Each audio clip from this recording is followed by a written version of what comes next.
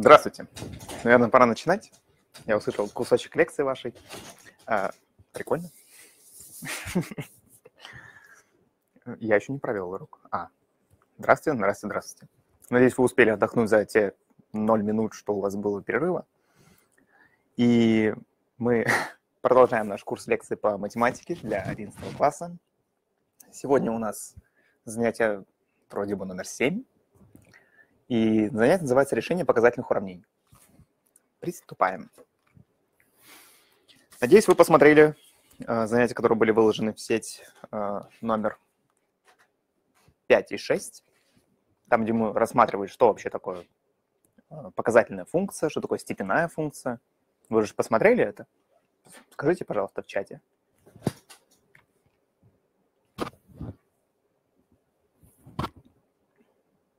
Меня же слышно, да? Это мало ли, не слышно я тут как-то. А, а кто-нибудь есть здесь? Нет, меня должно быть слышно. Ребята, вы здесь? А, вас слышно, супер. Честно, я не смотрел, но ознакомлен с данной, с данной темой. Замечательно.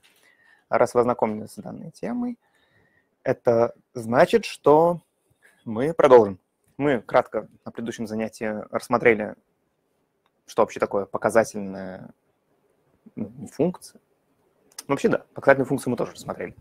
Степенная функция, что такое показательная функция. И когда мы познакомились с этим понятием, логичным э, шагом будет перейти к решению уравнений, и следующее будет решение неравенств. Собственно, сегодня мы тренируемся решать уравнения.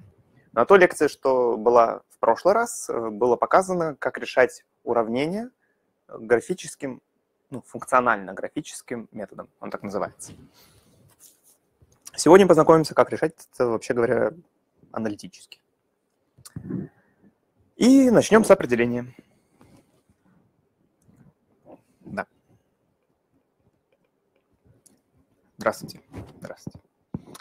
Определение следующее а в степени f от x, некоторая функция f от x, равно а в степени некоторой функции g от x, называется показательное уравнение,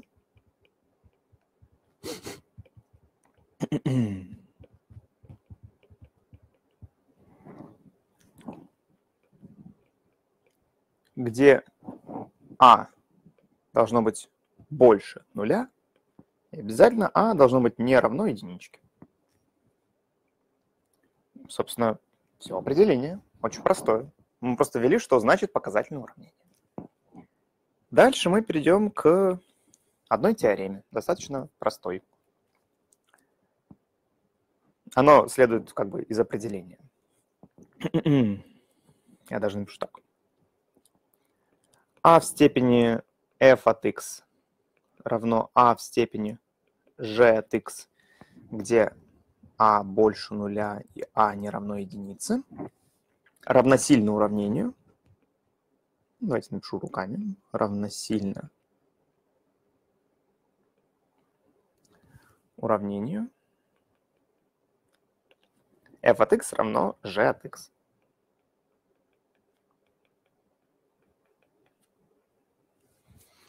Собственно, все вполне себе простая теорема. Пока, так как мы не знаем, что такое логарифмы, ну, может быть, вы и знаете, но мы будем проходить их дальше. А мы будем рассматривать только в таком виде теорему, без доказательства. И рассмотрим кучу примеров.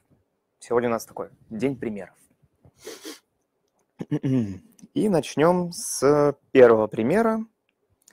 Выглядит он как 2 в степени 2х минус 4 равно 64. Мы хотим воспользоваться теоремой, которую только что написали, ну, вообще говоря, и определением тоже. В связи с чем нам нужно представить э, левую и правую часть в таком виде, чтобы у нас были одинаковые основания у наших выражений, ну и разные показатели степеней. Ой, что-то я фигню написал. 64. Здесь 4 заехало наверх у меня. Теперь мы должны понять, какое из, какую из частей нужно упрощать. Очевидно, нужно упрощать э, правую часть. Что такое 64? 64 – это 2 в какой степени? Шестой, да. Те, кто смотрели мою лекцию, наверное, помнили, как я случайно написал 2 в седьмой, а потом вспомнил и исправлялся. Очень стыдно на самом деле. Я шестерку взял за степень двойки. Ошибка? Ну, ошибка, ладно, бывает. Заговорился. Еще, главное, посчитал, такой, да, 7. Вот, 2 в шестой. Далее мы просто пользуемся нашим определением. У нас в данном случае функция f от x это есть вот 2x минус 4, g от x это есть просто функция равная 6. И получаем уравнение 2x минус 4 равно 6. А, что у нас получается? 2х равно 10, x равно 5. Собственно, все. Это и есть ответ нашему уравнению, ну, решение нашего уравнения, и x равно 5 является ответом. Но это был простой пример. Мы будем постепенно усложнять наши примеры. Второй пример чуть-чуть сложнее. 1 третья в степени 2х минус 3 с половиной равно единица делить на корень из трех. То же самое. Корень из трех можно представить э, как одну третью в какой-то степени. В какой степени нужно представить единицу на корень из трех? Вопрос в аудиторию, если что.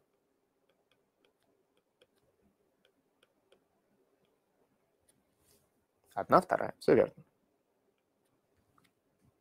Ну, ничего принципиально не изменилось. Мы пишем, что 2х минус ну, 3,5 это что такое? Это 7 вторых.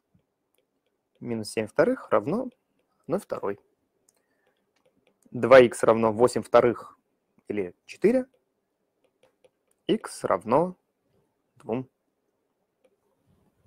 Тоже достаточно простой пример. Пока все понятно?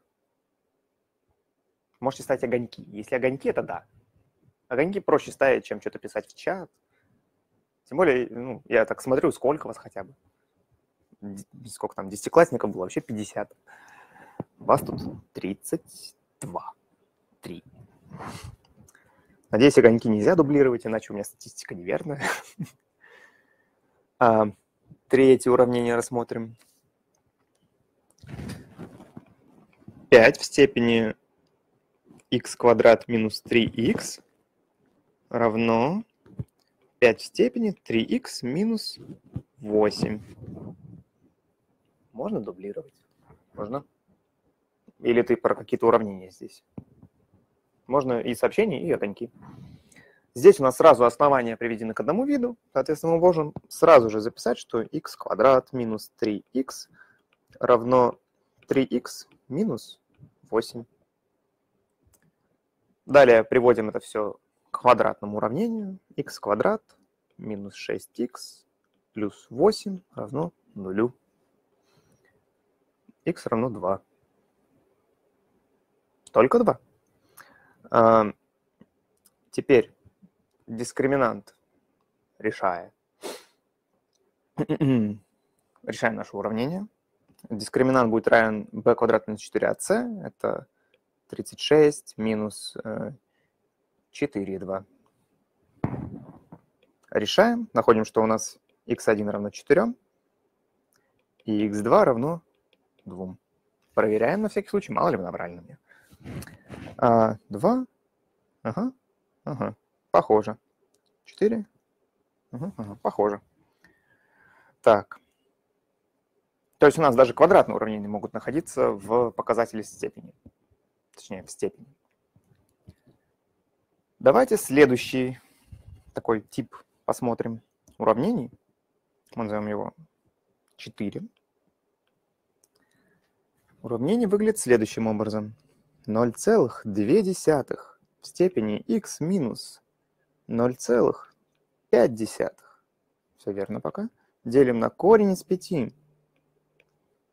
Равно 5 умножить на 0,5 4 сотых в степени x минус 2. Ну, давайте теперь опять-таки рассуждать. Как нам какому основанию нужно представить левую и правую часть? Ну, я вижу здесь корень из 5, слева и справа корень из 5, поэтому давайте к нему и приведем, то есть к основанию 5. Рассмотрим левую часть. А, левая часть состоит из некоторого одного множителя, умножено на другого, на другое, другой «е». Сложный русский язык. А, что такое 2 десятых? В степени x минус 0,5. Это есть э, просто 1 пятая. x минус 0,5. Получается, у нас левая часть переписывается следующим образом. 1 пятая в степени x минус 0,5, здесь я напишу вот так, делится на корень из 5, который можно представить как, здравствуйте, э, как 5 э, в степени 1 второй. Делится на 5 в степени 1 второй. Либо это то же самое, что он умножается на одну, умножается на одну пятую в степени 1 второй.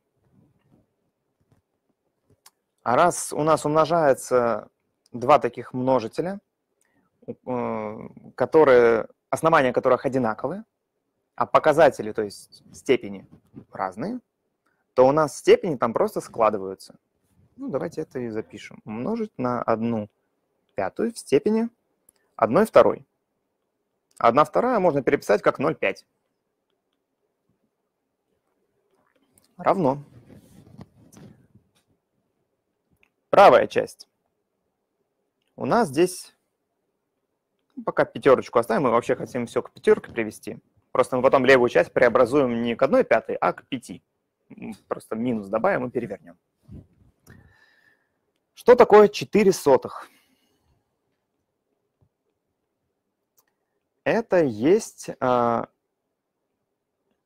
2 пятидесятых или 1 двадцать пятая. 1 двадцать пятая – это есть 1 пятая в квадрате. Затем мы должны 1 пятую в квадрате возвести еще в степень x минус 2. И это будет 1 пятая в степени 2 умножить на x минус 2. Это просто повторяю для тех, кто не посмотрел лекцию. Как пользоваться свойствами степеней. Ну, давайте пока так и запишем, хотя можно сразу упростить. А, мы можем перевернуть нашу дробь, записав это как 5 в степени минус нашего выражения, что стоит вот здесь. Но это будет минус 2 умножить на x минус 2. Все. На 5 в степени минус 2 на x минус 2. Это я сотру справа все. Ну, такие промежуточные вычисления, которые удобно делать. Вообще их надо полностью выкладывать, вам лучше все записывать. А я так, для красоты конспекта. Затем смотрим на левую и правую часть. Мы можем сразу увидеть то, что здесь у нас примножаются множители с одинаковым основанием, значит, у нас просто показатели складываются. Это значит, что у нас минус 0,5 и 0,5 сократятся. Останется просто 1 пятая в степени x. Ну и мы хотим привести к пятерки. Получается 5 в степени минус x. Это левая часть. Вот эта вот штучка дала нам вот это. Справа же у нас 5 в степени минус 2 на x минус 2 еще умножается на 5 в степени единичка. Можно так написать. 5 в первой степени. раз мы умножаем с одинаковым основанием, можем написать плюс 1. Вот, соответственно, Здесь уже можно решать. Можно было, конечно, сделать и заменой, то есть объявить как 5 э, в степени чего-то там за x и решать ее дальше, за y. Здесь мы получаем, что минус x равно минус 2 на x минус 2 плюс 1. А минус x равно минус 2x минус плюс 4 плюс 1. x у нас равно 5. Руслан, Молодец. Сказал, что это x равен 5. Вот. С этим мы разобрались, мне кажется. Давайте к следующему примеру пойдем. С этим все понятно? Солидарен. Солидарен с чем? К следующему примеру, наверное. А, следующий пример.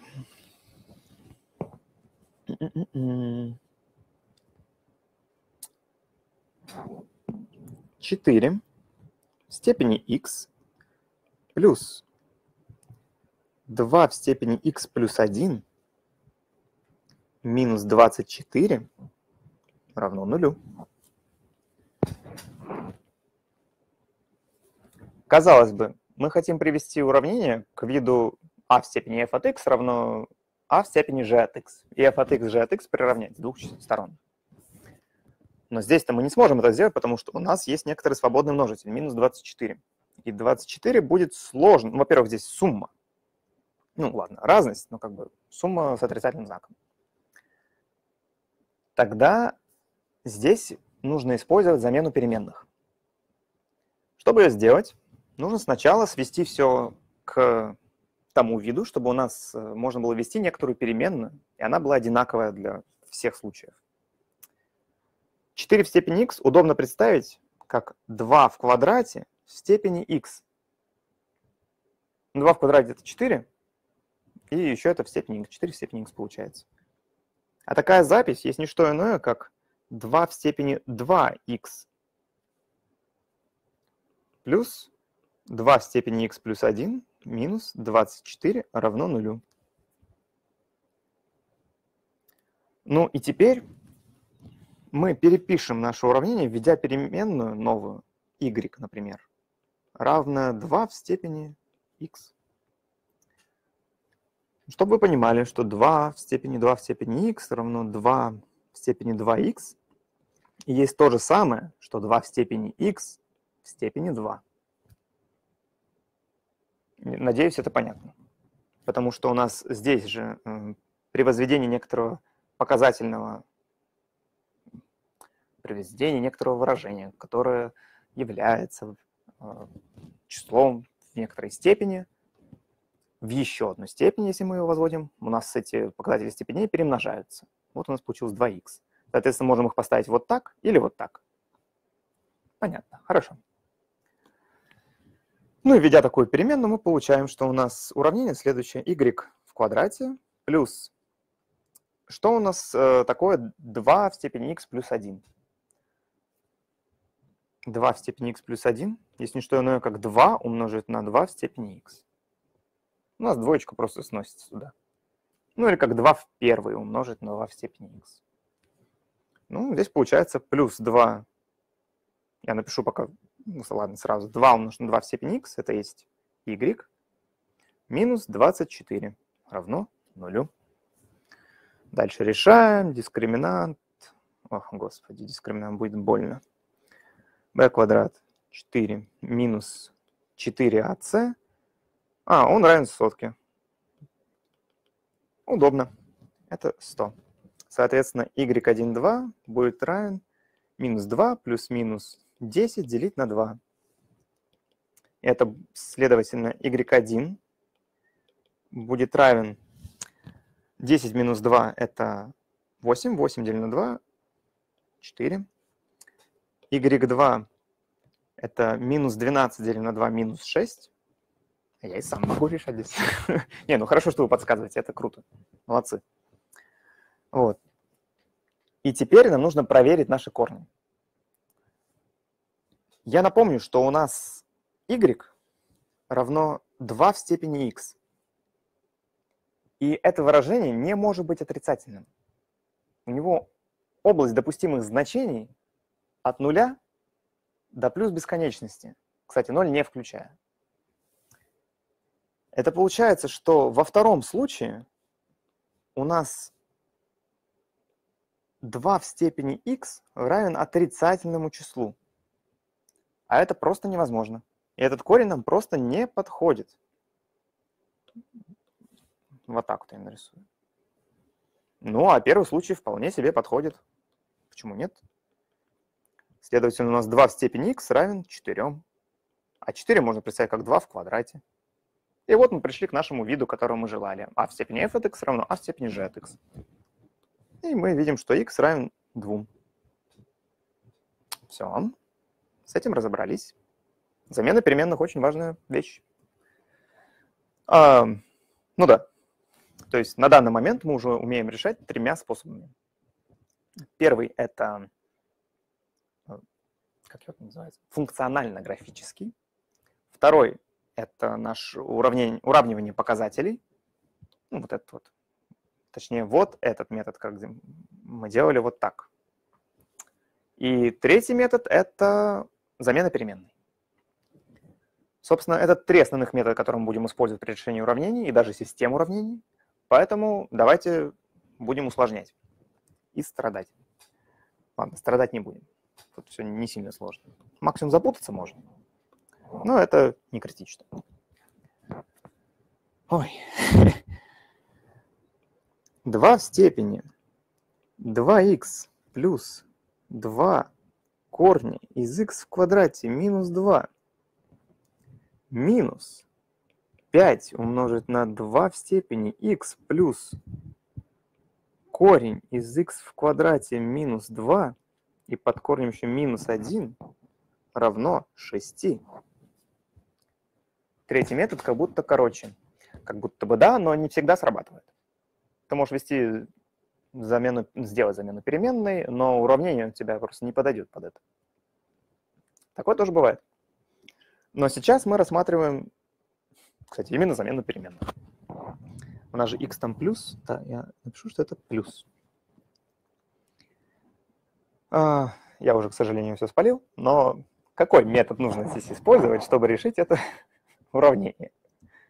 Сразу скажу то, что функционально-графический метод здесь будет представлять только муки, и мы будем страдать, чтобы нарисовать это.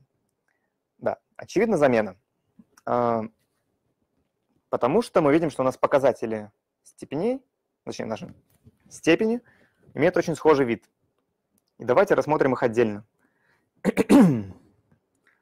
2х плюс 2 на корень из х в квадрате минус 2.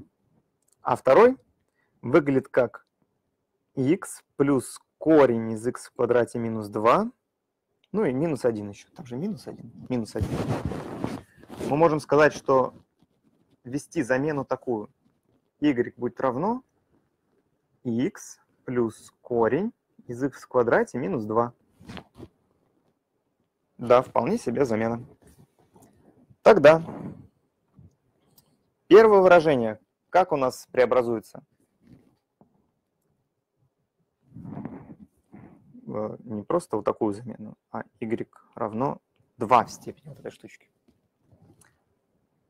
Тогда первое выражение, первое слагаемое у нас будет просто y в квадрате. Можно проверить. Если мы возводим вот эту штучку в квадрат, то мы получаем здесь двоечку и здесь двоечку. Что есть в точности вот это выражение, наше первое слагаемое.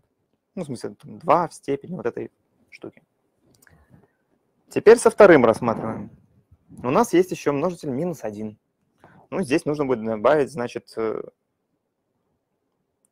минус 5 умножить на что? Минус единичку не забываем. Пишем ее на одну вторую. И умножить на наше y. Равно 6, ну или мы запишем минус 6 равно нулю. Вот решаем теперь такое уравнение. Так, здесь что у нас? Дискриминант есть b в квадрате минус 4ac. b в квадрате это 25 э, четвертых. Минус 4 плюс 4, 6, 24, 4АС. Это будет равно чему? А, здесь у нас будет 80, 96. 96 плюс 25 сколько будет? 96 плюс 25 четвертых. Вот так вот. Это будет а, 110, 121. 121, отлично. 121 четвертая. Соответственно, у нас y, да, 1, 2. есть минус b, это 5 вторых, плюс-минус корень из дискриминанта, это 11 вторых, делить на 2а, на 2. Это равно, ой, следовательно, y1 у нас будет равен чему? 5 плюс 11, 16 э, вторых это 8, 8 делим на 2, 4. y2. Его даже на самом деле можно не считать, потому что мы видим, что у нас 11 вторых э, по величине, по модулю, больше, чем 5 вторых. Это значит, что 5 вторых минус 11 вторых будет отрицательное число. А если оно отрицательное, это значит, что мы уже не можем его использовать никаким образом. Потому что у нас 2 э, в степени ну, любого числа должно быть больше нуля. Больше нуля, вот так вот. Это значит, что как бы второй корень нам не подходит. Ну и очень несложно найти ответ. Следовательно, а, ну, очень несложно, мы еще не дошли до него. 2 в степени x плюс корень из x в квадрате минус 2 есть 4. 4 это 2 в квадрате. Пользуемся нашим определением и записываем.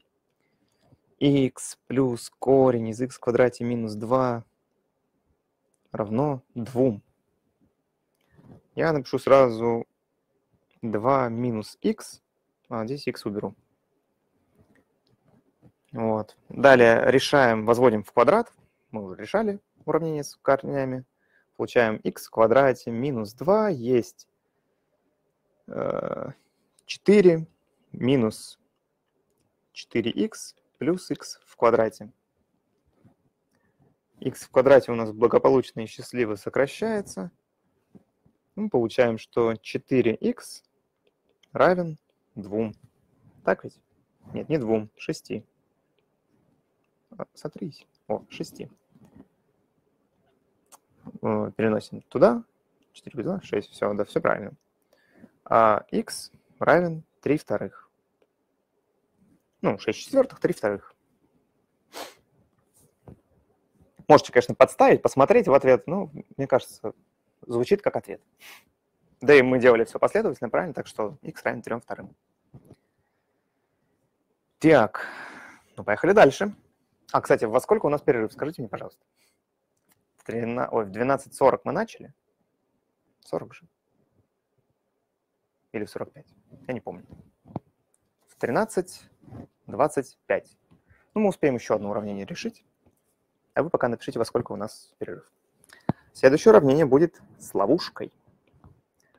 И такое очень сильно любят давать на каких-нибудь экзаменах. Корень иксовой степени из 64 минус корень иксовой степени из 2 в степени 3 x плюс 3 плюс 12 равно нулю. Здесь нужно помнить, что у нас x показатель корня, именно корня. А когда мы вводили определение корня, мы говорили, что у нас показатель этот корень, корня x, должен быть, во-первых, больше нуля, а во-вторых, он должен быть натуральным. Ну, то есть 2, 3, 4 и так далее. А, натуральный. Что так, от двух. Что ж, ну а далее, как только мы зафиксировали это, мы не забываем это, потому что иначе возникнут проблемы при вычислении. Мы уже сводим наш э, все, что мы сейчас делаем, к знакомому виду.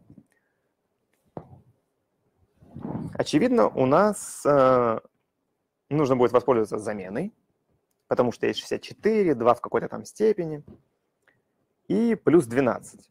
То есть у нас э, нельзя будет просто схалявить и слева и справа посмотреть на выражение, чтобы у них одинаковое основание. Придется сделать замену. Тогда я предлагаю свести все это к чему-то. Сначала будем расписывать на простейшие. 64, что такое? Это 2 в 6. Ну, это будет 2 в 6 и корни из x, э, корни x из степени из этого всего. Это будет, значит, 2 в степени x делить на 6. Но мы помним, что у нас на x такие ограничения. x больше 0, x натуральный, вообще говоря. Минус 2 в степени 3x плюс 3. Еще и корни иксовой степени. Это будет 2 в степени, ну, можно записать как 3x плюс 1 делить на x. Так? Так. x знаменатель, он же... Ой, да, да, простите, пожалуйста. Э, я просто описался. 6 делить на x, верно. И плюс 12 равно нулю. Теперь мы можем заметить, что у нас здесь очень удачно складывается, что данная дробь разбивается на две дроби. Первая у нас просто избавляет от x, э, а вторая дает 1 на x, а точнее 3 делить на x. Здесь 6 делить на x, то есть в квадрате. В квадрате там же перемножается степень. Тогда записываем 2 в степени 3 делить на x в квадрате минус. Я отдельно запишу, чему это равно 2 в степени 3 x плюс 1 делить на x. Это есть 2 в степени, во-первых, 3 умножить на 2 в степени 3 делить на x.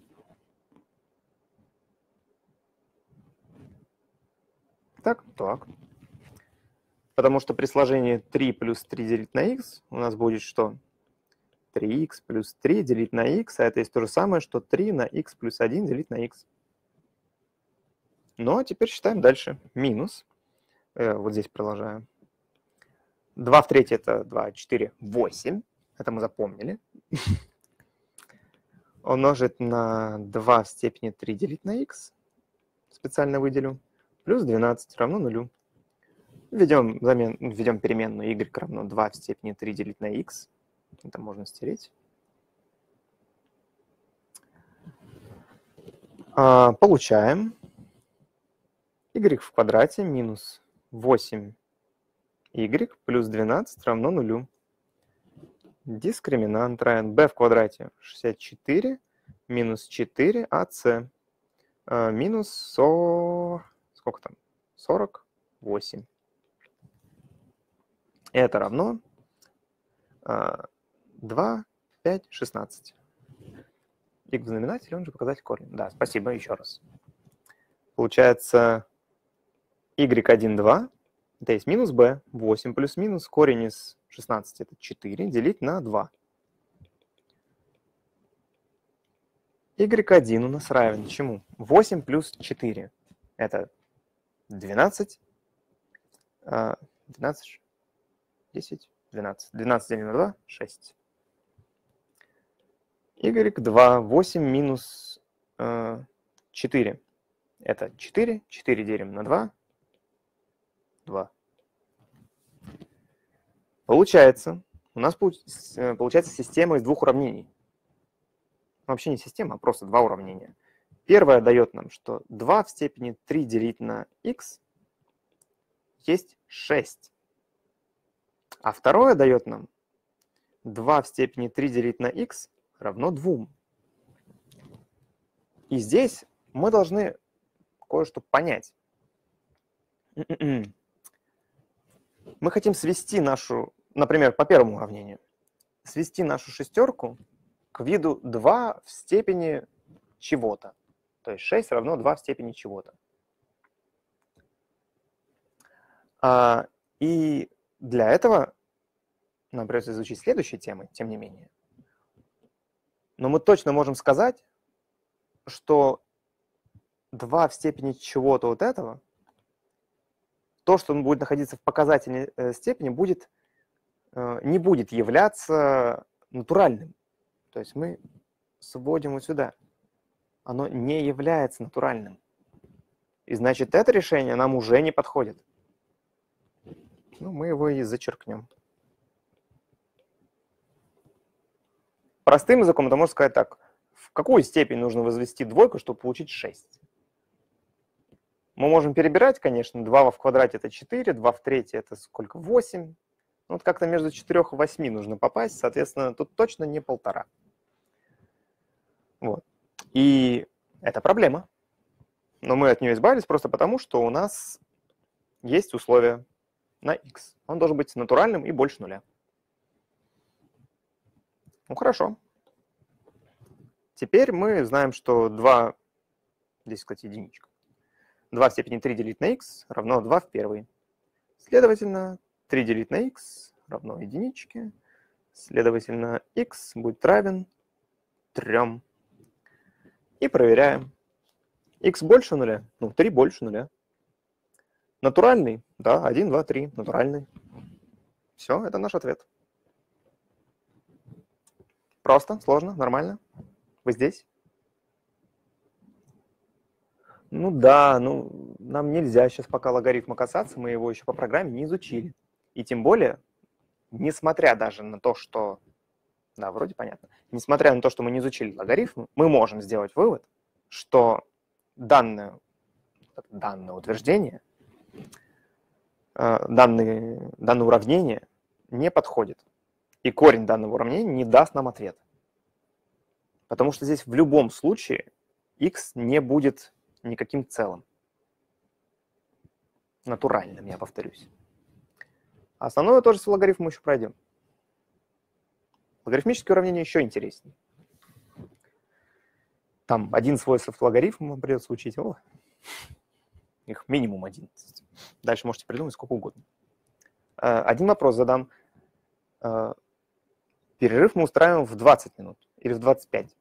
Или во сколько вообще? Во сколько вы хотите перерыв?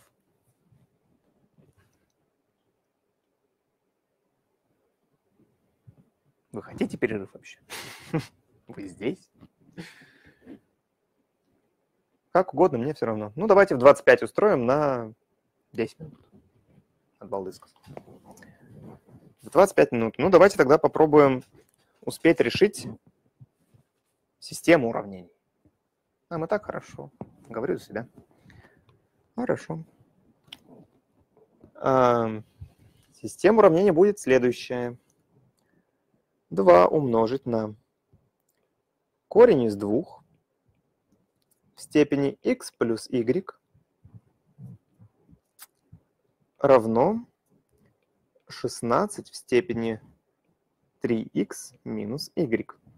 Система уравнений тоже очень часто используется в всяких экзаменах. Все привыкли работать с э, уравнениями с одной переменной. Добавляют две, все пугаются. А если три добавить, то вообще в страхе убегают. И здесь у нас 9 в степени x плюс y минус 3 в степени x плюс y равно 72. Что ж, Перед тем, как решать, э, я предлагаю, скажем, упростить эти выражения, потому что иначе будет слишком сложно. Я прям вижу, что во втором уравнении из этой системы уравнений очень хорошо зайдет э, метод замены. Мне кажется, вы тоже это заметили. А вот что в первом происходит? Ну, очевидно, там будет второй метод, там, где мы смотрели через равенство показателей степеней – но как он пока пройдет, мы еще не знаем. Поэтому давайте упростим. У нас везде есть степень двойки и какие-то показатели. Поехали. Корень из двух, это значит, мы должны поделить на двойку в степени, ну, в показателе. Мы записываем как x плюс y, деленное на 2. Отлично. Еще мы умножаем на двоечку. Это значит, что мы должны добавить к этому выражению единичку плюс 1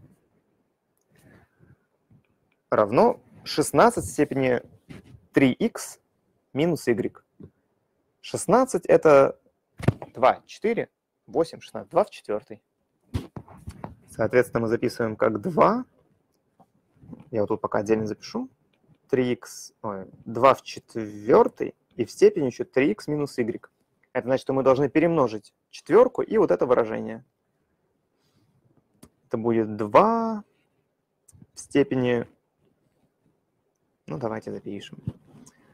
12х минус 4y. Ну вот, это будет 2 в степени 12х минус 4y. Отлично. Первое выражение упрощено. Второе выражение, ну, давайте тоже его слегка упростим. Это можно представить как э, а, 3 в степени x плюс y в квадрате. Понятно почему? Ну, там 9 – это 3 в квадрате, и а 9 в степени x плюс y – это 3 в квадрате в степени x плюс y. 2x плюс y умножаются, получается 2 на скобку x плюс y, а затем я x плюс y заношу внутрь, а двойку оставляю снаружи. Если что-то непонятно, пожалуйста, говорите. А то вы молчите так качественно. Я думаю, ну, все понятно. Вот. А, далее минус 3 в степени x плюс y. Мне все понятно. Хорошо. Ну и минус 72, сразу запишем, равно нулю. Ну, вот, эти, вот эту систему с двух уравнений уже значительно проще решать. А, предлагаю начать с первой. А, Первая система уравнений выглядит... Ой, первое уравнение. Мы видим, что у нас основания одинаковые, значит, должны показатели степени быть одинаковые из теоремы, которую мы вывели раньше. Ну, мы записываем x плюс y пополам плюс 1 равно 12x минус 4y. Ну, хотелось бы как-то упростить это выражение. А, ну, давайте упростим, да, реально. К общему э, все знаменателю приведем. Получается x плюс y плюс 2 минус 24x плюс 8y делить на 2 равно нулю. То есть, что я здесь сделал? Я сначала домножил двоечку на эту единичку. Вот она. Затем я перенес 12х налево. Минус 12х. И умножил на 2 получилось минус 24х. Затем минус 4y перенес налево, это будет 8, ой, 4y и умножил на 2, 8y. Ну, эта двоечка уйдет. Потому что мы можем обе части уравнения домножить на 2 и не потеряя никаких корней. Вот. Теперь немножечко упростим это. Все, что связано с x и с y, разносим. А, с y у нас что связано? 9y. Давайте так запишу.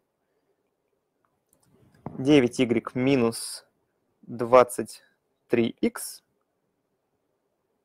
Ну, там, плюс 2 равно нулю. Вот наше первое уравнение. Теперь рассмотрим второе уравнение. Здесь нужно, это вот решение для первого. Это первое, это второе. Рассмотрим решение для второго уравнения. Перепишем его. Хотя можно сразу сказать, что пусть у нас y будет равно, ладно, не y, y занято, z равно 3 в степени x плюс y. Тогда мы получаем новое уравнение. z в квадрате минус z минус 72 равно нулю. А, дискриминант b в квадрате минус 4ac, 72 на 4 умножаем, 8, 20, 280, ну, короче, это равно 289. Корень чему равен из 289? Какой-нибудь там, не знаю, 17, что-нибудь такое. 17, да. Тогда z1,2 есть Минус b – это единичка. Плюс-минус 17 делить на 2. А у нас равно единица, да. z1, z2 равно 1 плюс 17, 18. 18 делить на 2 – 9. Ну, второй можно даже не рассматривать, потому что он будет отрицательным. Единица минус 17 – это уже минус 16. Вот. Минус 16 делить на 2 – это сколько там? Минус 8. Минус 8 нам не подходит, потому что у нас э, 3 в любой степени должно быть больше нуля, а тут у нас меньше. Соответственно, решая вторую часть, мы получаем, что а,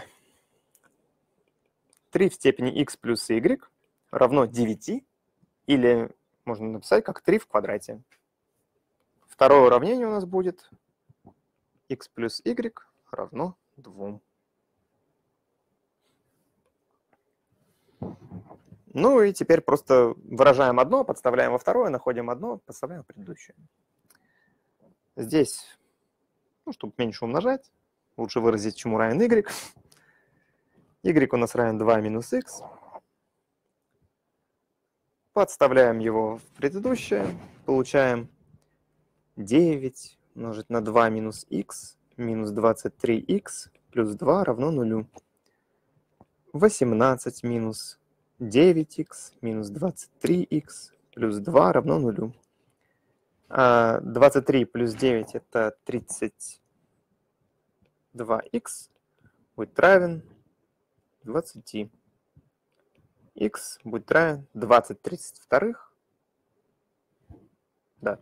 Или, ладно, давайте запишу полностью. 20 32. Или то же самое, что 10 шестнадцатых или то же самое, что 5 четверть, ой, что я много разделил, 5 восьмых, ну, этого нам хватит. Вот это у нас есть x. Ну, и y отсюда находим как э, 2 минус 5 восьмых. Это есть 16 минус 5, 11 восьмых. Равно y. Также 16 минус 5, 11. Ну, собственно, вот наш ответ.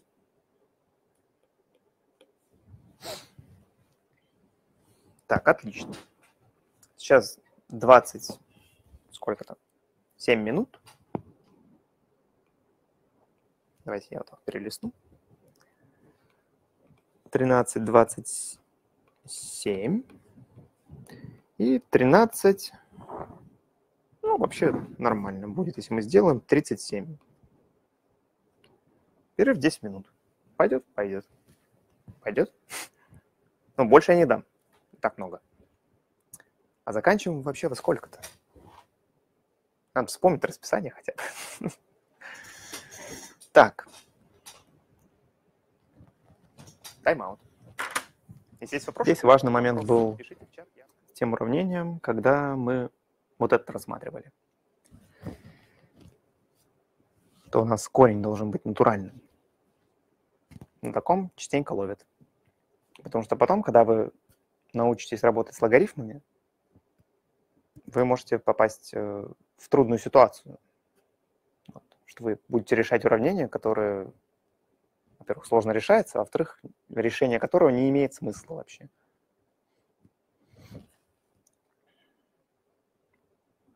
Чего еще у нас такого здесь сложного было? А все остальное, в принципе, простое. И задачи, которые я потом присылаю, они тоже не сильно-то и сложно. Вообще, видите, кстати, задачи, которые я присылаю? Их там уже должно быть 6. Я стараюсь делать так, чтобы, во-первых, задачи обязательно были связаны с темой лекции. И еще... А вы нам присылаете задачи? Ну, как бы это есть некоторый список задач, которые вы решаете. Если вы решаете их, вы за каждой задачей получаете баллы. И если вы набираете очень много баллов, то это помогает вам при поступлении. Вот. Я так понял, вам до вас они не доходят, да? Угу. Проблема. Ну, где-то они точно выкладываются. Я, к сожалению, сейчас точно сказать не могу, но они есть. Можете уточнить, где вы про проверку на посещаемость? Э, такая есть. Ну, там после каждой лекции 11 классу... А, вот, тесты на посещение. Они так называются? Ну, хорошо. Там всегда вроде бы 9 заданий. Вот, там, где 9 заданий. Вот это вот тест на посещаемость, видимо. Хорошо. И этот тест э, я стараюсь всегда делать так, чтобы первые задачи были ну, такими простыми, а затем все сложнее, сложнее, сложнее. Ну, чтобы хотя бы какой-то конкурс устраивать, то иначе как по-другому. Вот. Когда мы коснемся логарифмов, там Последние задачи, поверьте, будут сложными. Я постараюсь. Ну, там всегда с вариант... не с вариантами ответа. На самом деле у меня был выбор дать вам вариант ответа или написать как-то это после каждой лекции. Да, это после каждой лекции. Был выбор либо сделать с вариантами ответа, либо чтобы вы вводили какое-то число. Ну, там, число, ответ. Я всегда указываю, как нужно вводить. А можно спросить за один правильный пример, сколько баллов рассчитывается. Пока я не знаю. Ну, в первом приближении это один правильный ответ, а один балл. Скорее всего, так. А так как там в каждом тесте всегда одинаковое количество задач, то есть за каждый тест, наверное, можно получить 9 баллов. Вот. Ну, 9 задач, 9 баллов. Вроде просто. Так и есть. Хорошо. Так, у нас буквально несколько секунд осталось. Счет на секунды. Торопимся. И 6 баллов это нормально? Это нормально. Вполне себе. А вам сразу результаты говорят, да? Я просто не знаю. Я не могу зайти в вашу систему от имени учеников. А, сразу говорю, ну, 6 баллов вполне хорошо. Продолжим. А, следующий пример, он, как я уже сказал, больше на понимание, не только следующий, а все следующие примеры на понимание и скорее на работу даже с аудиторией. Вопрос такой. А, уравнение следующее 2 в степени x равно 3 в степени x. Как такое решать? Можно сразу, на самом деле, назвать ответ, но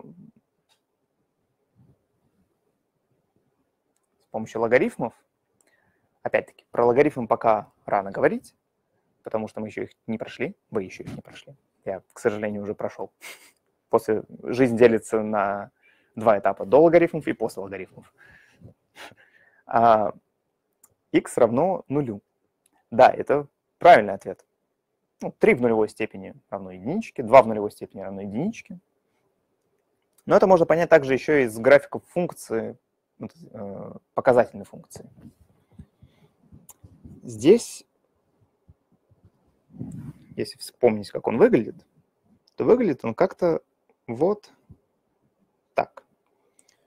Это единичка, x, это y. Например, это 2 в степени x. Для 3 в степени x у нас график будет выглядеть вот так.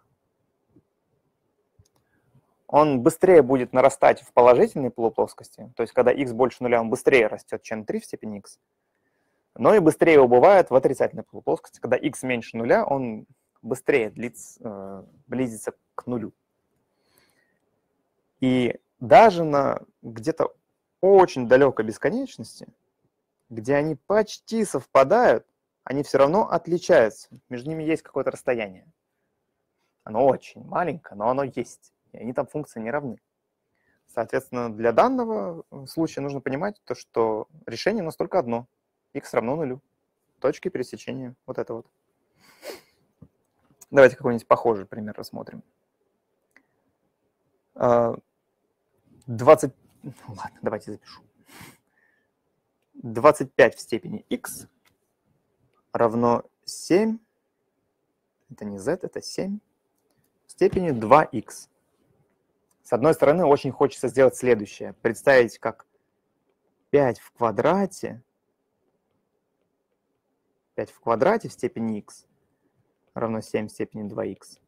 А здесь, э, преобразовав левое, можно сказать, что это 5 в степени 2х равно 7 в степени 2х. И здесь, не поверите, та же самая ситуация. У нас здесь тоже будет ответ равен нулю. Да, вполне себе логично. Тоже, исходя из графиков, можно тоже, исходя вообще из определения показательной функции.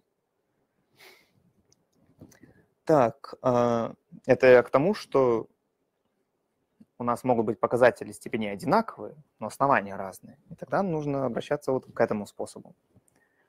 Первый пример показывал, что у нас разные основания, но одинаковый показатель. А хотя здесь второй такой же, кстати. Третий, да и все последующие, не буду я вставшиеся там писать. Например, 1 третья в степени 2х равно 8 в степени х. У нас разные основания, также они будут пересекаться только в точке 0. Поэтому, я думаю, с этим типом задач понятно. Смотрите на основание э, данного выражения. Оно должно быть одинаковое, чтобы пользоваться нашими методами. И теперь попробуем порешать что-нибудь с параметром. Например, при каких значениях параметра а уравнение имеет, можно обе части поделить на один из множителей, множителей сторон, получится э, дробь равна нулю, поэтому решение 0. Ну, например. Да, так, в принципе, тоже можно сделать. А, ну, фактически это не сильно отличается от нашего решения предыдущего.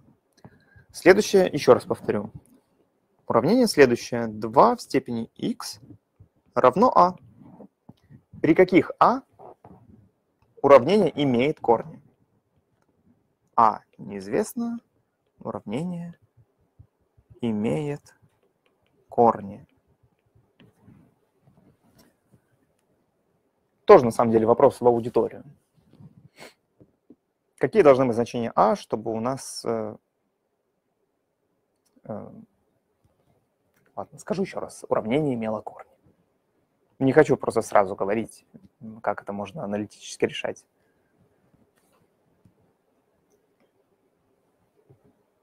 При а больше нуля. Да, это верно. Опять-таки, это можно смотреть из э, зависимости точнее графика функции э, показательной. У нас значение а больше нуля, все верно. Значение а можно представить как некоторая функция g от x равно а.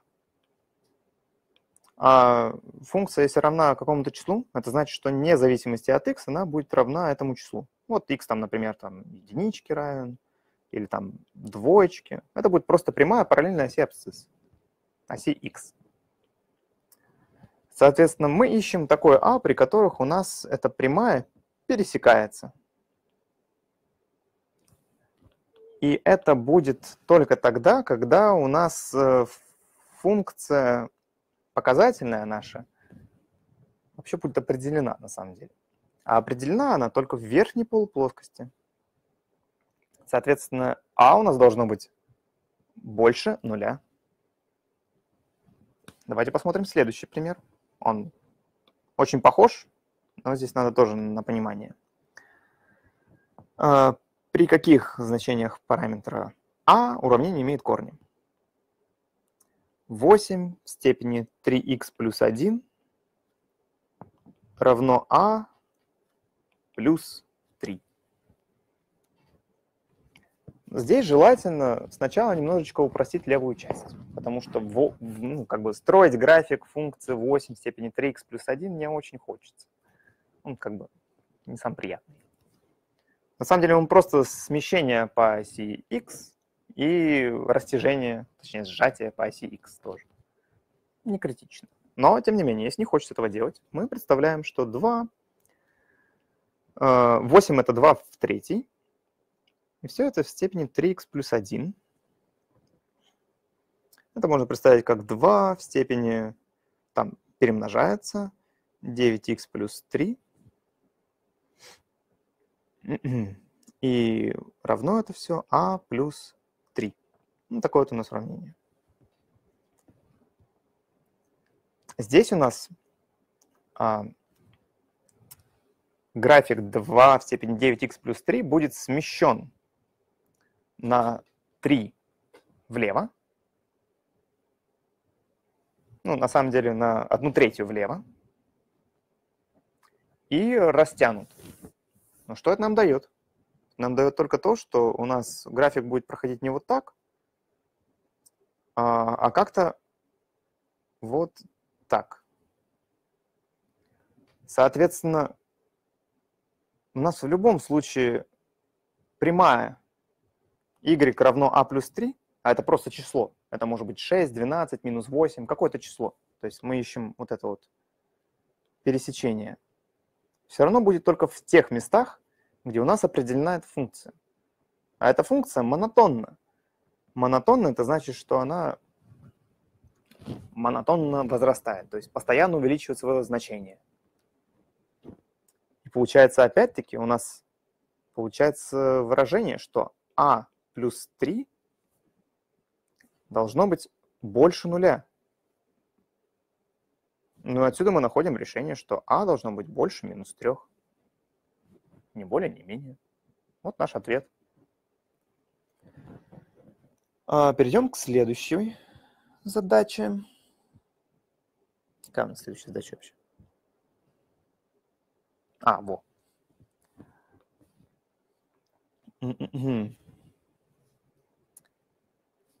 Корень третьей степени из 3 в степени x равен минус а. При каких значениях а у нас будет вообще решение? Ну, здесь нужно воспользоваться тем, что мы можем корень представить как в степени 1 третьей. Ну, конечно, подкоренное выражение должно быть больше нуля. А 3 в степени x всегда больше нуля. Соответственно, это будет 3 в степени x делить на 3 равно минус а. И все то же самое. 3 в степени x делить на 3 – это график функции 3 в степени x, только растянутый в 3 раза по оси x. Можете по точкам построить и увидеть, что это действительно так. И тогда мы должны просто, опять-таки, посмотреть на эм, определение нашей показательной функции. Область допустимых значений у них, у нее, да и у них, э, есть x больше нуля. То есть от нуля до плюс бесконечности. Только там функция где-то проходит. И мы должны найти такое число, у нас там какая-то вот такая функция, такое число минус а, э, чтобы оно находилось вот здесь. Соответственно, минус а должно быть просто больше нуля. Ну и а получается меньше нуля. Вот и все. Текс. Ну и давайте еще вот такой рассмотрим примерчик. 1 вторая в степени x равно а в квадрате. Может, здесь? Здесь. Здесь все то же самое. У нас 1 вторая в степени x. Ну, график, правда, уже у нас будет немножко другой. А, Потому что мы можем представить одну вторую в степени x как 2 в степени минус x, и будет равен а квадрату. 2 в степени минус x, он будет просто идти в обратную сторону. Соответственно, далее мы должны найти такое число а, а в квадрате, которое будет пересекать. Мы говорим, что у нас а в квадрате, опять-таки по аналогии, должен находиться в верхней полуплоскости. Ну и пишем а в квадрате больше нуля. А как решать такое неравенство? При каких а у нас э, а в квадрате будет больше нуля?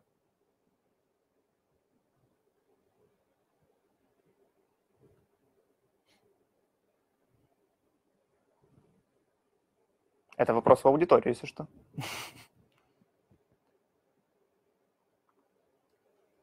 Почти верно, Анна. Почти верно. Потому что у нас здесь строгое неравенство. Если а у нас будет равно нулю, то да, любых неравных нулю. Вот это правильный ответ. Если а у нас будет равно нулю, то а в квадрате равен нулю, а как бы, тогда у нас не подойдет под неравенство. Ну и получается, что а у нас э, принадлежит от минус бесконечности до нуля, объединении с нуля до плюс бесконечности. То есть мы просто, можно еще записать так. А принадлежит R за исключением нуля.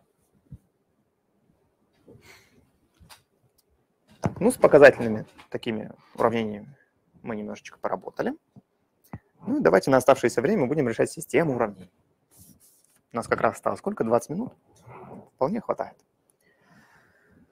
Первая система уравнений. x 2 в степени x плюс y равен 16. 3 в степени y равен 27 в степени x. Ну, сразу, что хочется сделать, это первое уравнение представить как 2 в степени x плюс y равно 16, как э, степень двойки. 2, 4, 8, 16. 24. Нам сразу первое уравнение дает э, дополнительное, которое выглядит как x плюс y равно 4. Очень легко. Со вторым уравнением это то же самое. 3 в степени y равно... А, что такое 27? 27 это 3 в третьей. 3, 9, 27, да. А, на всякий случай напишу 3 в третьей и в степени x. Это будет то же самое, что 3 в степени 3x. Это я удалю. 3 в степени 3x. Ну, отсюда мы находим, что у нас одинаковое основание, показатели должны быть равны. y равно 3x. Ну и подставляем x плюс 3x равно 4, следовательно, x равен единичке. И отсюда y равно 3. Ответ у нас точка 1, 3. Это ответ. Ну, давайте чуть сложнее посмотрим. Э, надеюсь, все понятно. Тут вроде элементарно, посложнее только что решали. Следующее уравнение будет таковым. 0,5 в степени 3х умножить на 0,5, 0,5 в степени y равно 0,5. 2 в степени 3х, это система уравнений, умножить на 2 в степени минус y равно 32. Здесь минус. А, с одной стороны, хочется в первом уравнении основание вот это вот 0,5 представить как э, нормальную дробь, то есть сколько это? Одна вторая. Но на самом деле этого даже можно и не делать. Можно работать даже так. Ну, так и запишем, получается 0,5. В какой степени? Здесь у нас перемножается вот этот множитель и этот множитель. Основания у них одинаковые. Значит, у нас складывается показатели 3х и y. Так запишем. 3х плюс y равно 0,5 в первой степени. Ну, отсюда мы сразу получаем уравнение. 3х плюс y равно единице. Второе уравнение. Здесь, конечно, хотелось бы представить двойку. В общем, по аналогии. А, сначала левую часть. Опять-таки, основания у них одинаковые. Складываем показатели. 3х плюс минус y, это будет 3х минус y. И равно 2 в какой степени? 32 это 2, 4, 8, 16, 32, 2 в пятой. Да. Получаем 3х минус y равно 5. Ну, отсюда давайте выразим y, единица минус 3х, подставим его сюда. Следовательно, 3х минус 1 плюс 3х равно 5. Следовательно, 6х равно 6, и х равен единичке. Отсюда мы получаем, что y равен э, 1 минус 3 минус 2. Точка у нас получилась 1 минус 2. Вот наш ответ. А нельзя сложить УАО. Я пока не знаю, что значит УАО. А, уравнение. А эти два? Да, можно и сложить. Это как вы любите решать э, систему линейных уравнений. Это не проблема. Вот. Потом вас в универе научат более сложным способом, как решать огромные системы уравнений, там, не знаю, тысячи переменных. Это интересно, но не в нашей, э, не в нашей, не наша задача в данный момент. Третий пример. Они, правда, простые все попались. Ну ладно. 5, ну, как минимум, вы отработаете то, что вы будете делать в домашке. 5 а, в степени 2х минус y есть 125. 4 в степени x минус y равно 4. Ну, поехали. 5 в степени 2х минус y равно 125. Это 5 в какой? В третий, наверное. 5, 25, 125. 5 в третий. Третий. Спасибо. Здесь 4 в степени x минус y равно 4 в первой. Составляем систему. 2х минус y равно 3. x минус y равно единичке.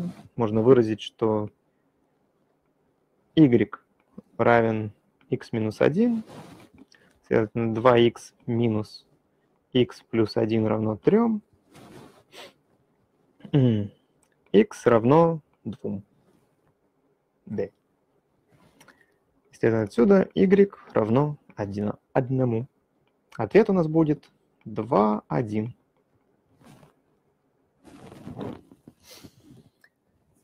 Ну, давайте тогда последнюю системку порешаем. А, 0,6 в степени x плюс y умножить на 0,6 в степени x равно 0,6. Очень похоже. 10 в степени x умножить на 10 в степени y равно 0,01, 1 сотая в степени минус 1. Ну, попробуйте решить, что ли. Первое уравнение у нас очень хорошо преобразуется в следующее. 0,6 в степени x плюс y плюс x, ну или 2x плюс y, равно 0,6 ну, в первой степени. Здесь у нас получается 10 в степени x плюс y. Думаю, понятно почему. Надеюсь, понятно почему равно 1 сотая в степени минус 1. 1 сотая – это есть не что иное, как 10 в минус второй степени. Ну, 100 – это 10 в квадрате. Единица делить на 10 в квадрате – это будет 1 сотая. Значит, 1 сотая в степени минус 1 – это будет 10 в минус второй в степени минус 1 мы должны 10, ну, показатели перемножить. Это минус 2 умножить на минус 1 будет 10 в квадрате.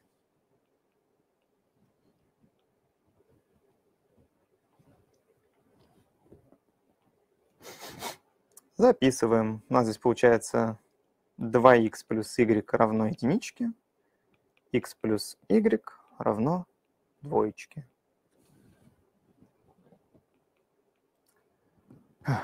y равно единице минус 2x, x плюс 1 минус 2x равно 2. Следовательно, x равно минус 1, y равно 1 плюс 2, 3. Вроде да. Минус 1, 3. Вот такой вот ответ. А вам вообще видно? Да, видно. Ну, систему уравнения я точно вам подсуну куда-нибудь туда на решение. Надо будет только придумать, как сделать так, чтобы вы записали ответ. А то это будет сложно. Так, а у меня примеры не... А у меня примеры закончились. Давайте из головы придумаем. какой-нибудь в стиле... Да, господи. Ладно, 17 совсем. Хотя, ладно, 17 а, в степени 3х минус y знаю, там, равно 17 в квадрате. Скучный пример. А что-нибудь посложнее. Давайте, например, какой-нибудь, который мы уже почти решали. А, одна девятая в степени минус 2y равно 27 в степени 4х. Да, конечно, мы запаримся умножать. А, нет, не запаримся умножать. Кстати, возможно, это решение не имеет уравнения, потому что оно из головы выдумано. А может и имеет. Сейчас проверим. Значит, ну, первое уравнение у нас очень дает, очень быстро дает правильный ответ. 3х минус y равно 2. Это новое уравнение нам дает. Теперь второе давайте попреобразуем. 1 девятая. Что такое 1 девятая? Это а, 1 третья в квадрате.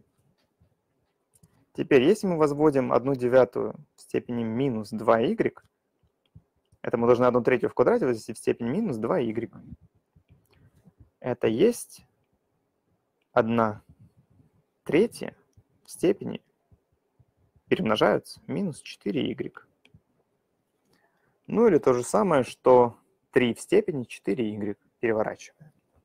Левую часть мы знаем. 3 в степени 4y равно. Ну а 27 в степени 4х это есть 3 9 27. 3 в третьей в степени 4х.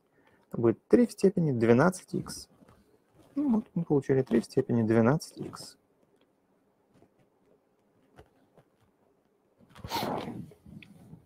А, далее. Вообще, я здесь записываю 4y равно 12x. Или, что то же самое, что y равно 3x. Можно подставить его сюда. Получаем, что 3x минус 3x ну, как я удачно подобрал, конечно, равно 2.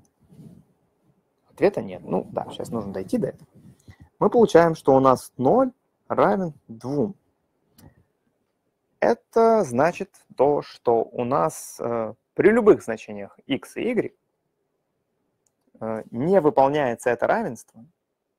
Если вы найдете где-то у себя в решениях такое выражение, то что у вас какая-то одно число равно другому числу, там 7 равно минус 2.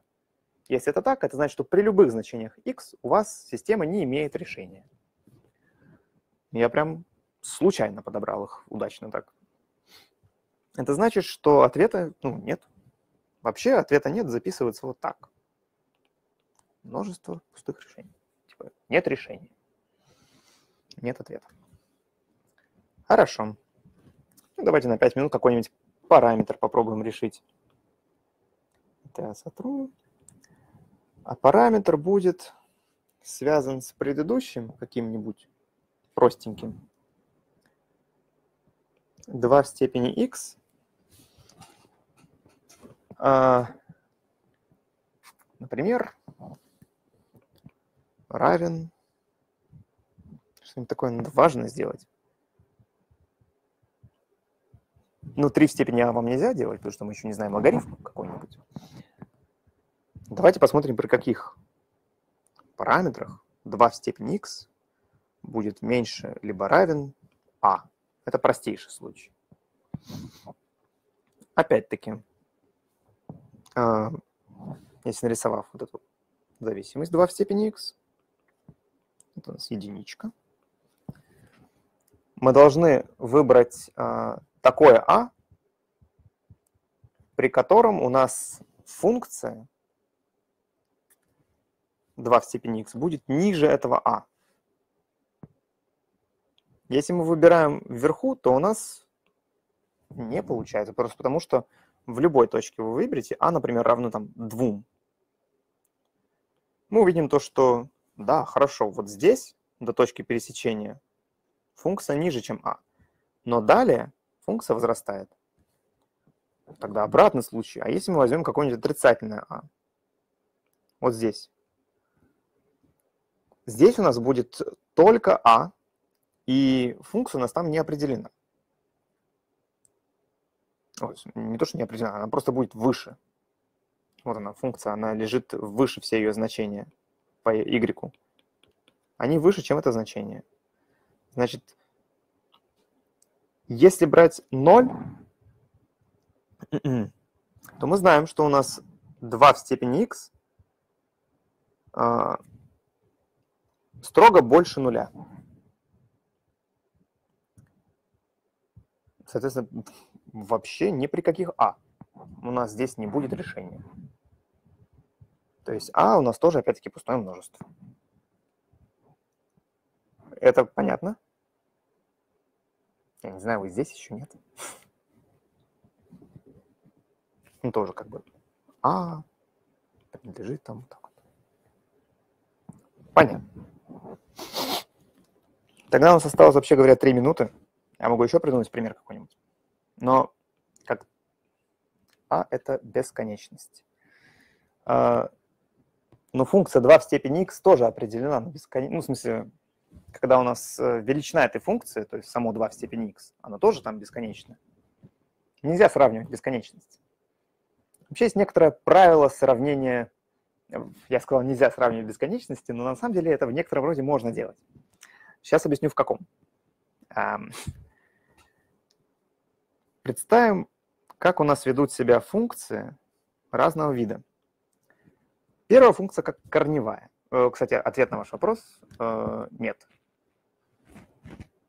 Если а мы равняем бесконечности, то как бы у нас функция там тоже бесконечная есть. И как только вы возьмете а бесконечность какую-то одну, можно всегда добавить к ней единичку, и там будет тоже функция. Поэтому нельзя так. А функция, которую мы уже изучили, логарифм мы еще не знаем пока что, но мы уже знаем, что такое корневая функция. И она со временем будет расти. То есть с увеличением нашего аргумента x у нее постоянно будут расти значения y. Но расти будут достаточно медленно. Тогда мы можем рассмотреть какую-то степенную функцию. Например, ну не знаю, там x, то простейшее возьмем, x в первой степени.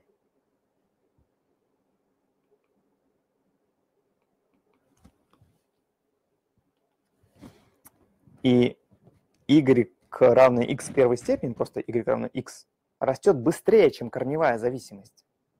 Это видно, то, что до одному значению x какому-то а, соответствуют, ну, во-первых, разные значения y, это логично, это разные функции. А во-вторых, у нас для одного значения x а, функция, которая линейная, растет быстрее, чем корневая. Это значит, что в пределах, которые вы проходили уже, это может пригодиться. Затем мы можем рассмотреть показательную функцию.